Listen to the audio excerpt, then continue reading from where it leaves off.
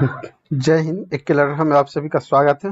तो हम लोग चलते हैं साठ संग्रह, जो हर एग्ज़ाम के लिए इम्पोर्टेंट है। पच्चीस हज़ार प्लस प्रीवियस ईयर क्वेश्चन है। उसके, उसमें हम लोग पढ़ रहे हैं भारतीय राज्य व्यवस्था एवं संविधान। उसमें अगला पार्ट प्लेलिस्ट इसका बना हुआ है। तो प्लेलिस्ट के अनुसार वीडियो देखिए और दो बार, तीन बार वीडियो देखिए बार बार तो रिवाइज होगा। तो अगला क्वेश्चन क्या है? डॉक्टर बी आर अंबेडकर की अध्यक्षता में गठित प्रारूप समिति को क्या कार्य सौंपा गया था? परामर्श समिति द्वारा तैयार किए गए संविधान का परीक्षण करके संविधान को विचार करने के लिए संविधान सभा के समक्ष प्रस्तुत करना। संविधान सभा का अंतिम दिन था चौबीस जनवरी 1950 संविधान सभा का अंतिम दिन कब था? तो चौबीस जनवरी 1950 ईस्वी। विधि के समस्त समता एवं विधियों के समान संरक्षण का अधिकार संविधान के किस अनुच्छेद में प्रदान किया गया? तो अनुच्छेद चौदह के अंतर्गत, राज्यपाल पद ग्रहण करने से पूर्व किसके समझ पद और गोपनीयता की शपथ लेते हैं? तो राज्य के उच्च न्यायालय के मुख्य न्यायाधीश के समझ राज्य के निम्न सदन को कहा जाता है। तो राज्य के निम्न सदन को विधानसभा कहा जाता है। राज्यसभा, राज्य विधानसभा में कुल कितने सदस्य होंगे? यह किस अवयव पर निर्भर करता है? तो राज्य की जनसंख्या पर। मतलब कह रहा है कि राज्य का जो विधानसभा उसमें कितने सदस्य होंगे? और यह किस पर निर्भर करता है? तो राज्य की जनसंख्या पर निर्भर करता है। संविधान सभा ने भारतीय संविधान में किस अनुच्छेद को अंतर्राष्ट्रीय शांति और सुरक्षा के वृद्धि के लिए समाविष्ट किया है? तो अनुच्छेद इक्यावन को। भारत के संविधान में सार्वजनिक आदेश मत का समादेश है सूची में। बंदी प्रत्यक्षीकरण रीट जारी करने का अधिकार केवल किसमें नहीं था सर्वोच्च न्यायालय और उच्च न्यायालय में। सर्वोच्च न्यायालय और उच्च न्यायालय में क्या है? बंदी प्रत्यक्षीकरण रिट जारी करने का अधिकार है। भारतीय संविधान का अनुच्छेद 30 का संबंध किससे है? अल्पसंख्यकों के शिक्षा संस्थानों की स्थापना तथा उनके प्रबंध के अधिकार से। संघ सरकार द्वारा किसी राज्य को विशेष दर्जा प्रदान करने का क्या तात्पर्य है? केंद्रीय सहायता का अधिक प्रतिशत सहायता अनुदान के रूप में होगा। भारतीय संविधान के किस अनुच्छेद के तहत राज्य को पर्यावरण, वन तथा अन्य जीवन की सुरक्षा अधिकार मिला? तो मिला किसमें तो अनुच्छेद 48 के एक के अंतर्गत मिला। भारत के संविधान द्वारा आपात स्थिति की उद्घोषणा के समय मंत्रिमंडल दल दल लिखित सलाह मिलने पर ही की जा सकती या किस संविधान संशोधन के पश्चात इसे संविधान में जोड़ा गया? तो जो चौवालीसवा संविधान संशोधन हुआ उसके पश्चात किस संविधान संशोधन के द्वारा यह स्पष्ट किया गया कि जब दो सदनों द्वारा पारित कोई संविधान संशोधन या विधेयक राष्ट्रपति के सम्मुख प्रेषित या किया जाता है, तब राष्ट्रपति उस पर अपनी स्वीकृति देने से मना नहीं कर सकता। यह चौबीसवा संशोधन जो कि उन्नीस सौ इकहत्तर में हुआ। मूल संविधान में कितने राज्यों का उल्लेख है? तब मूल संविधान में 20 का, राज्यों का समीकरण ए बी सी डी में था। मूल संविधान में कितने राज्यों का उल्लेख था तो 20 का। तो राज्यों का समूहकरण पहले बटा हुआ था, ए, बी, सी और डी में था। दादर और नगर हवेली में भारत दादर और नगर हवेली भारत में शामिल होने से पूर्व किसका उपनिवेश था? तो पुर्तगाल का था। राज्यपाल पद के लिए न्यूनतम आयु सीमा कितनी होनी चाहिए? तो पैंतीस वर्ष। यदि किसी राज्य का राज्यपाल दो राज्यों का कार्यभार संभालता तो दोनों राज्यों के बीच उसके वेतन का अनुपात कौन निर्धारित करता? तो राष्ट्रपति निर्धारित करता। जनहित याचिका किस न्यायालय में दायर की जा सकती है? तो उच्चतम न्यायालय और उच्च न्यायालय दोनों में दायर किया जा सकता है। संघीय लोक सेवा आयोग, यूनियन पब्लिक सर्विस कमीशन में अध्यक्ष एवं सदस्यों की नियुक्ति कौन करता है? तो राष्ट्रपति करते हैं। उच्चतम न्यायालय के न्यायाधीशों की संख्या में वृद्धि करने की शक्ति किसके पास है? संसद के पास। यदि लोग जो चुनकर आएँगे, योग, चरित्रवान और ईमानदार हुए तो वे दोषपूर्ण संविधान को भी सर्वोत्तम बना देंगे। यह कथन किसका है? डॉक्टर बी आर अंबेडकर का। भारत में न्यायिक पुनरीक्षण की शक्ति प्रयोग किसके द्वारा किया जाता है? तो सर्वोच्च न्यायालय और उच्च न्यायालय दोनों के द्वारा। केंद्रीय मंत्रिमंडल की ज़िम्मेदारी किसके प्रति होती है? तो लोकसभा के प्रति। सर्वोच्च न्यायालय के न्यायाधीश को उनके पद से कौन हटा सकता है? तो संसद के परामर्श पर महाभियोग जैसी प्रक्रिया के द्वारा राष्ट्रपति को हटाया जा सकता है। राष्ट्रपति के द्वारा राष्ट्रपति के विरुद्ध महाभियोग कहाँ लाया जा सकता है? संसद के किसी भी सदन में महाभियोग लाया जा सकता है, जो कि इकसठवा संविधान। किस संविधान संशोधन के द्वारा लोकसभा तथा राज्यसभा विधानसभाओं का कार्य बढ़ाया जा सकता है? तो बयालीसवा संविधान संशोधन, जो कि छह वर्ष का हो गया। सी सी ई ए क्या है? Cabinet committee on economic affairs है। 15 मार्च 1950 ईस्वी में योजना आयोग का गठन कैसे किया गया? एक मंत्रिमंडलीय प्रस्ताव के द्वारा संविधान के किस अनुच्छेद में वित्त आयोग का उल्लेख किया गया था? अनुच्छेद दो सौ अस्सी में। उन्नीस सौ इक्यावन ईस्वी में गठित प्रदत्त वित्त आयोग के अध्यक्ष कौन थे? केसी नियोगी। किस समिति ने केंद्रीय प्रशासनिक सेवाओं को समाप्त करने की सिफारिश की थी। राजमन्नार समिति ने केंद्रीय राज्य सूची और संवर्ती सूची का विवरण संविधान में कहाँ है तो सातवीं अनुसूची में। 15 मार्च 1950 को जो लागू हुआ, मूल संविधान में कितनी भाषाओं का मान्यता दी गई? तो उस समय चौदह भाषा। अभी कितनी भाषाएँ हैं? तो बाईस भाषा। सिविल अधिकार संरक्षण अधिनियम किस वर्ष पारित किया गया? तो 1955 के संशोधन और उन्नीस सौ छिहत्तर ईस्वी में पारित किया गया। सिविल अधिकार संरक्षण अधिनियम किस वर्ष पारित किया गया? तो उन्नीस सौ पचपन में क्या हुआ? संशोधन किया गया और उन्नीस सौ छिहत्तर में लागू किया गया। अंतरिम राष्ट्रीय सरकार का गठन कब किया गया तो 2 सितंबर 1946 को।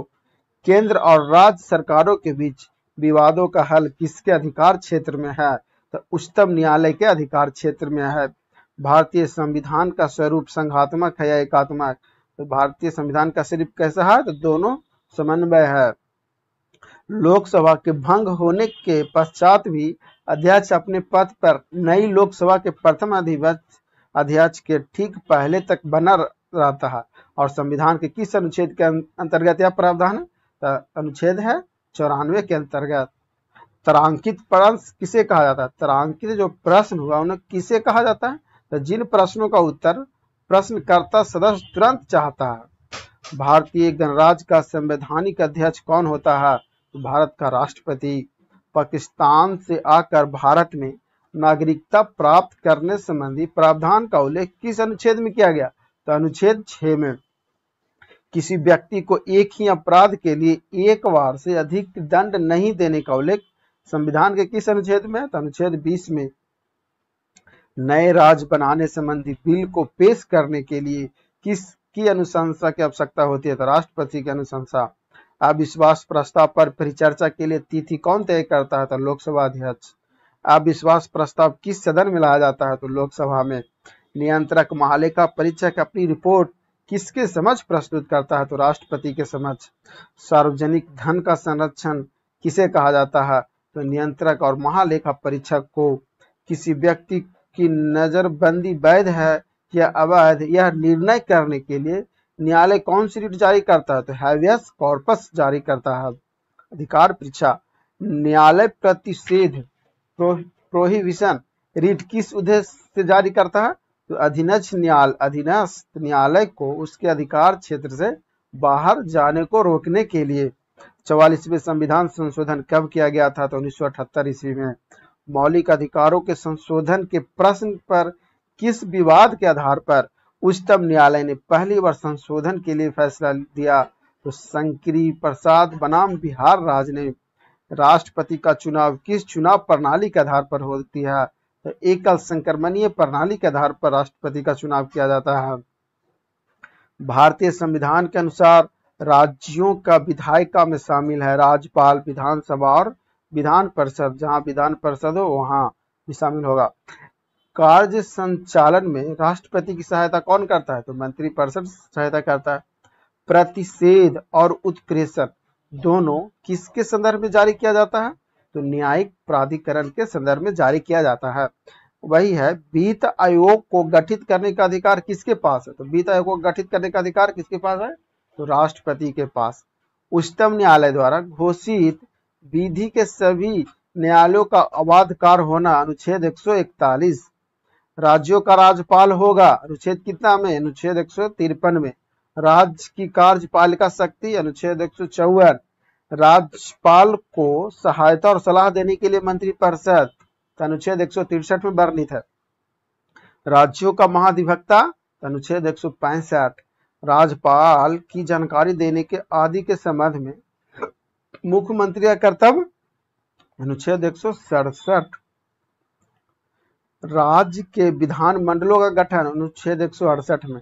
राज्य का जो विधान मंडल का गठन किया गया, कि किस अनुच्छेद के तहत? अनुच्छेद एक के तहत। राज्य में विधान परिषद का उत्साधन या सृजन मतलब गठन किया गया राज्यों में विधान परिषद का सृजन, अनुच्छेद एक सौ उनहत्तर। राज्य के विधान मंडल के सत्र सत्रह वसान का विघट अनुच्छेद एक सौ चौहत्तर। राज्यपाल का विशेष अभिभाषण, अनुच्छेद एक सौ छिहत्तर में। विधानसभा का अध्यक्ष और उपाध्यक्ष अनुच्छेद एक सौ अठहत्तर में उपा अध्यक्ष और उपाध्यक्ष का पद रिक्त हो, होना पद त्याग और पद से हटाया जाना अनुच्छेद एक सौ उनासी के तहत। विधान परिषद का सभापति या उपसभापति होगा यह अनुच्छेद एक में वर्णित है। सदस्यों द्वारा शपथ या प्रतिज्ञान किस किस अनुच्छेद में है? तो अनुच्छेद एक सौ अठासी में है। धन विधेयक की परिभाषा तो अनुच्छेद एक सौ निन्यानवे एक सौ निन्यानवे में क्या है? तो धन विधेयक की परिभाषा। वार्षिक वित्तीय विवरण अनुच्छेद 202 में वार्षिक वित्तीय विवरण 202 राज्यों के लिए उच्च न्यायालय होगा अनुच्छेद 214 में। राज्यों के लिए उच्च न्यायालय होगा अनुच्छेद 214 उच्च न्यायालयों का अभिलेख न्यायालय होना, उच्च न्यायालयों का अभिलेख न्यायालय होना अनुच्छेद 215 में वर्णित है। उच्च न्यायालयों का गठन कब, उच्च न्यायालयों का गठन कौन सा अनुच्छेद में है? तो अनुच्छेद 216 में है। जिला न्यायाधीशों की नियुक्ति किस अनुच्छेद में वर्णित है? अनुच्छेद 233 जिला न्यायाधीशों की नियुक्ति किस अनुच्छेद में बनी थी? अनुच्छेद 233 संघ राज्य क्षेत्रों का प्रशासन, अनुच्छेद दो में। दिल्ली के संबंध में विशेष उपबंध अनुच्छेद दो के क्या में है? दिल्ली के संबंध में जो विशेष उपबंध हुआ, अनुच्छेद दो के क्या में है? नगर पालिकाओं का गठन तो अनुच्छेद दो के था। और अनुसूचित जात अनुसूचित क्षेत्रों और जनजाति क्षेत्रों का प्रशासन अनुच्छेद दो सौ चौवालीस में है। यदि आपात की उद्घोषणा प्रवर्तन में हो तो राज सूची के विषय के संबंध में विधि बनाने की संसद की शक्ति अनुच्छेद 250 में है और अंतर्राष्ट्रीय करारों को प्रभावी करने के लिए विधान अनुच्छेद दो सौ तिरपन में है। अंतर्राज्यीय नदियों या नदी दोनों के जल संबंधी विवादों का न्यायालय का निर्णय अनुच्छेद दो में। भारत और राज्यों की संचित निधियाँ और लोक लेखा अनुच्छेद दो में है। आकस्मिकता निधि, अनुच्छेद दो आकस्मिकता निधि, अनुच्छेद दो संघ द्वारा उद्देहित किए जाने वाले, किंतु राज्यों द्वारा संग्रहित और विनियोजित किए जाने वाले शुल्क अनुच्छेद दो में है। संघ द्वारा उद्गृहित और संग्रहित, किंतु राज्यों को सौंपे जाने वाला कर अनुच्छेद दो में है। संघ द्वारा उद्देहित एवं संघ राज्यों के बीच वितरित किया जाने वाला कर, अनुच्छेद दो कुछ राज्यों को संघ से अनुदान, अनुच्छेद दो सौ पचहत्तर में वित्त आयोग, अनुच्छेद दो सौ अस्सी, दो सौ अस्सी में क्या है? वित्त आयोग। और वित्त आयोग की सिफारिश किसमें है? तो अनुच्छेद दो सौ इक्यासी में। वित्त आयोग की सिफारिश किसमें है? तो अनुच्छेद दो सौ इक्यासी में। भारतीय स्वाधीनता अधिनियम, जो कि उन्नीस के बाद संविधान सभा की स्थिति में कौन सा महत्वपूर्ण परिवर्तन हुआ? तो सभा के भारतीय डोमिनियन के, डोमिनियन केंद्रीय विधान मंडल के रूप में कार्य करना प्रारंभ कर दिया था। भारतीय स्वाधीनता अधिनियम उन्नीस के बाद भारत का जो संविधान बन रहा था, संविधान सभा की स्थिति के समय महत्वपूर्ण परिवर्तन क्या हुए तो तो सभा के जो भारतीय डोमिनियन केंद्रीय विधान मंडल के रूप में कार्य करना प्रारंभ कर दिया था। भारत में सर्वोच्च सत्ता का धारा कौन है? तो भारत की जनता। भारतीयों को सत्ता के हस्तांतरण का उल्लेख सर्वप्रथम कर किया गया।